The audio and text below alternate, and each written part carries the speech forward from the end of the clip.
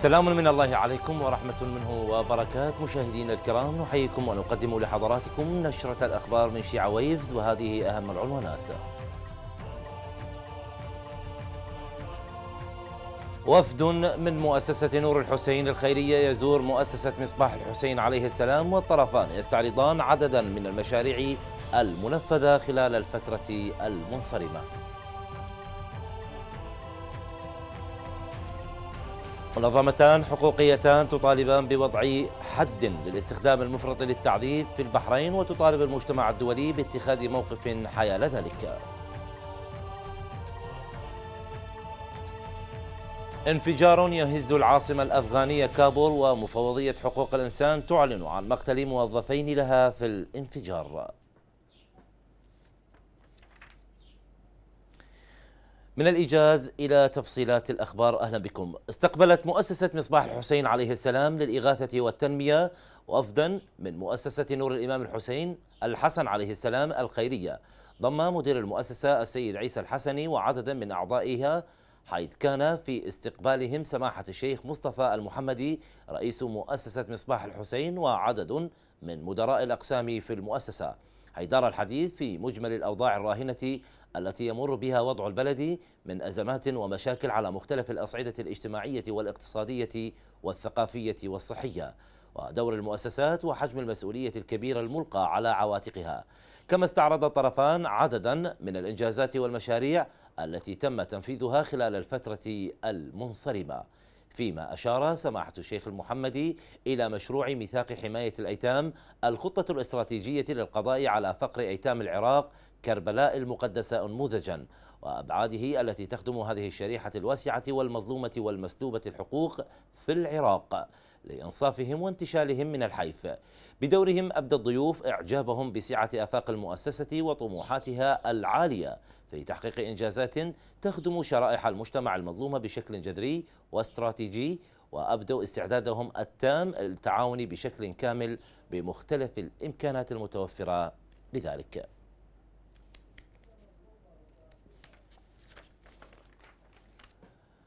باشرت ملاكات قسم المشاريع الهندسية في العتبة العسكرية المقدسة أعمالها في بناء جناح الإمام الهادي عليه السلام الطبي.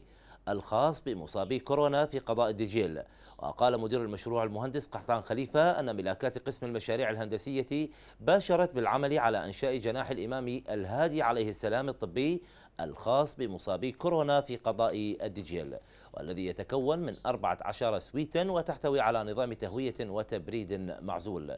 مضيفا إنه تم وضع خطة لعمل متكامل لإنجاز المشروع خلال مدة أقصاها 40 يوما. أعلن جهاز مكافحة الإرهاب العراقي عن تنفيذه واجبا نوعيا على مدار يومين متواصلين في منطقة جبال خانوك شمال محافظة صلاح الدين. وقال الجهاز في بيان أنه تمكن من قتل 16 عنصرا إرهابيا في اليوم الأول وثمانية عناصر في اليوم الثاني بعد أن وجه طيران الجيش العراقي وطيران التحالف الدولي ضربات صاروخية جوية موجعة أسفرت عن تدمير الكهوف والإنفاق التي تحصن بها عناصر داعش الإرهابيين الهاربين. هذا ووعد البيان أن يبقى جهاز مكافحة الإرهاب شوكة في عيون عصابات داعش الإجرامية حتى القضاء على آخر فرد منهم.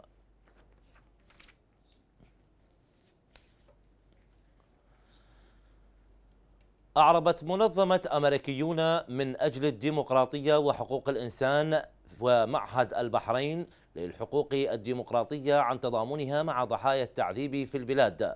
وقالت المنظمتان في بيان أنه على الرغم من التزامها المفترض بالإصلاحات إلا أن سجل البحرين في مجال حقوق الإنسان استمر بالتدهور في السنوات الأخيرة.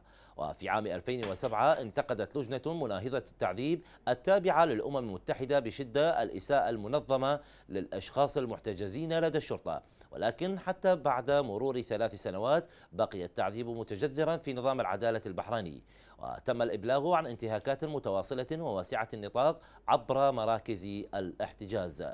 مضيفة أنه لا يزال القضاء البحريني يعتمد بشكل كبير على الاعترافات القسرية لمقاضاة المتهمين. أما مرتكبي الانتهاكات فنادرا ما تتم محاسبتهم داعية المجتمع الدولي وخاصة المشرعين في المملكة والولايات المتحدة إلى اتخاذ موقف من خلال دعوة البحرين للسماح بإجراءات تحقيق مستقلة في ادعاءات التعذيب وسوء المعاملة في البلاد.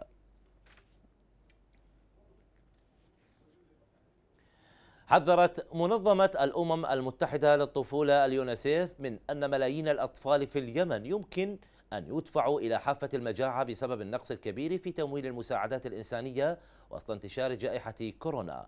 وقال بيان للمنظمة إنه بعد مرور خمس سنوات على الحرب في اليمن. ومع تدمير النظام الصحي والبنية التحتية بتدهور الوضع الصحي السيء بالنسبة للأطفال إلى حد كبير. يمكن أن يصاب ثلاثون ألف طفل إضافي بسوء التغذية الحادة الوخيم الذي يهدد الحياة على مدى الأشهر الستة القادمة. وأكد بيان اليونسيف أن ضعف الحصول على مياه الصرف وال... على المياه والصرف الصحي يؤجج انتشار جائحة كورونا ولا يحصل حوالي تسعة ملايين طفل على ما يكفي من المياه المأمونة والصرف الصحي والنظافة. الصحية.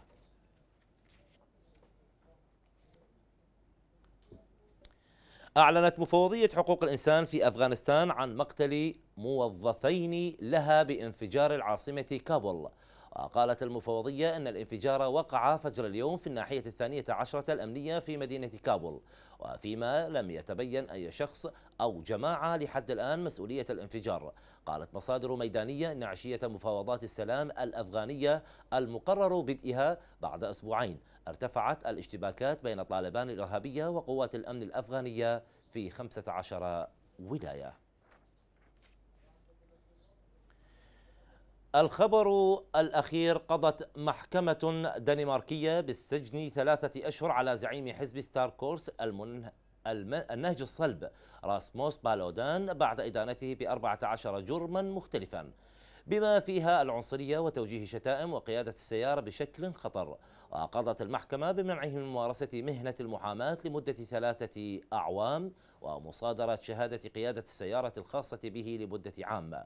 ودفع تعويضات بقيمة تجاوزت الأربعة آلاف دولار أمريكي للشخص الذي وجه له الشتائم. هذا وأحرق بالودان نسخة من القرآن الكريم في أحد الأحياء التي يسكنها المسلمون في العاصمة الدنماركية كوبنهاجن في مايو من العام. الماضي.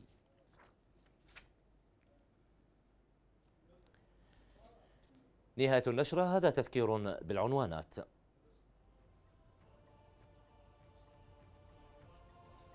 وفد من مؤسسة نور الحسن الخيرية. يزور مؤسسة مصباح الحسين عليه السلام والطرفان يستعرضان عددا من المشاريع المنفذة خلال الفترة المنصرمة. منظمتان حقوقيتان تطالبان بوضع حد للاستخدام المفرط للتعذيب بالبحرين وتطالب المجتمع الدولي باتخاذ موقف حيال ذلك. انفجار يهز العاصمة الأفغانية كابول ومفوضية حقوق الإنسان تعلن عن مقتل موظفين لها في الانفجار. ختام النشرة شكرا لكرم المتابعة وإلى اللقاء. اللهم عجل لوليك الفرج. السلام عليكم ورحمة الله وبركاته.